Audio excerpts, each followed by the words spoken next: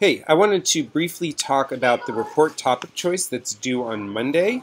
Um, for that report topic choice, there are a few things that you can do. The first is go to one of these web pages here that is linked to which are recommended journals and type in something that you're interested in.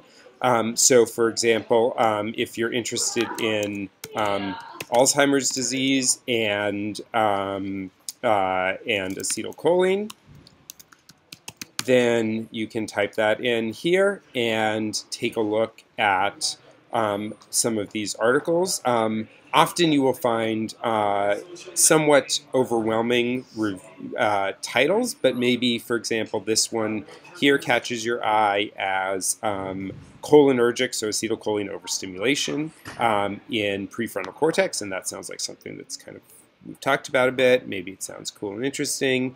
Um, and then from there, uh, what you're ultimately going to need to do for the assignment is to upload a, um, a document um, with link with a link to um, or just the PDF of, so you can download the PDF for this paper um, for the paper. Um, there is going to be a lot of technical terminology in here. And I think that um, everybody in the week after spring break is going to have to find some time to come to office hours. I'll be holding some extra office hours in the afternoons. Um, and also uh, optional evening office hours via um, Zoom when we can talk through some of these articles. Um, but for these articles, you are going to have to work through the um, uh, the experiments and uh, and make sure that you have an understanding of what's going on. Um, and that's going to take some work together with me or with Ian. If you don't find what you're looking for by going to these places, then the other place that you can go is to um, PubMed. Um, if you just Google PubMed, then you'll find it, um, or uh, the address is uh, is up here, um, ncbi.in, uh, slash PubMed.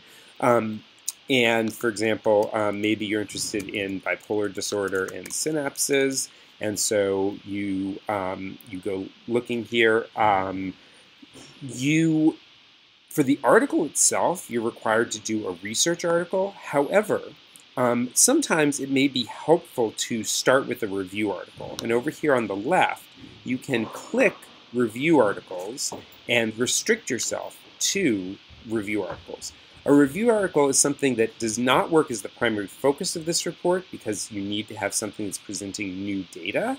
Um, but you may find it interesting, for example, to, um, to look through a review article first and use that as a way to um, help you find um, research articles as well as putting those research articles into context. Um, so in um, one of these review articles, um, often uh, they're either available through the um, uh, journal website or the uh, or through what's called PubMed Central.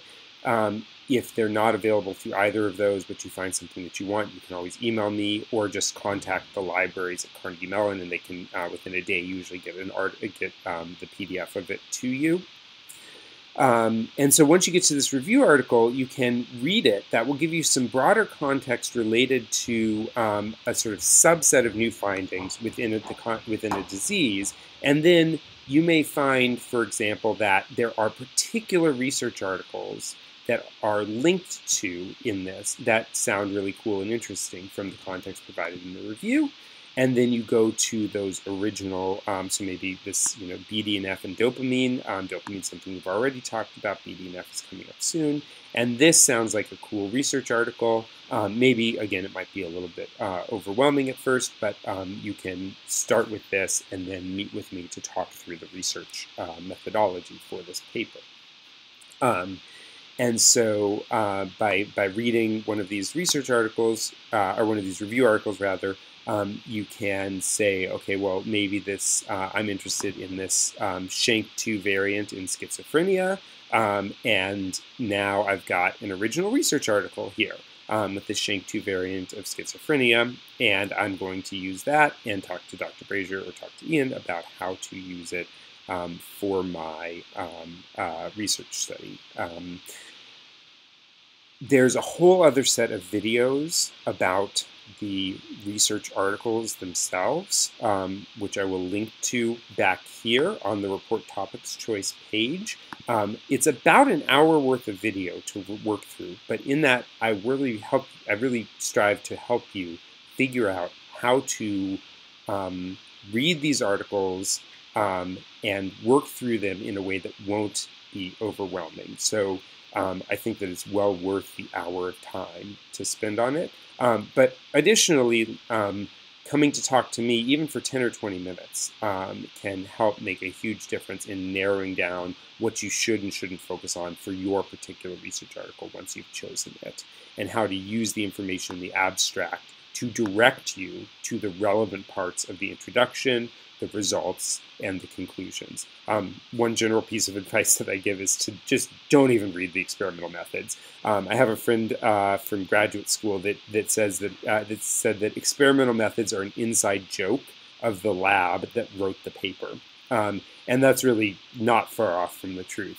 Um, just sort of really briefly, um, uh, there in in the article itself in the results section they will actually tell you what they did in enough detail for what you need for this. So for example, they were looking for genetic variants in this particular gene and they sequenced the genome, the exons. Um, you can talk to me about what an exon is or you know look it up. Um, but they sequenced exons, which is the active coding part of the genes, um, from 400 81 schizophrenic patients. Um, and that is literally all the method that you need to know.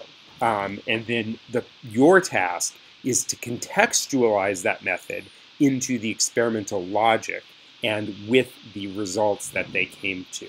And the results are often presented in figures, um, and typically um, each figure presents one, it's sort of, you know, the different aspects of one result. Um, sometimes uh, a figure might have a lot of parts to it and maybe even have a couple different experiments in them. Um, but please, please, please contact me with any questions as they come up. And I strongly encourage you all, once you've found a paper that sounds cool, to um, come talk to me even for just a few minutes about the research article and how to break it down.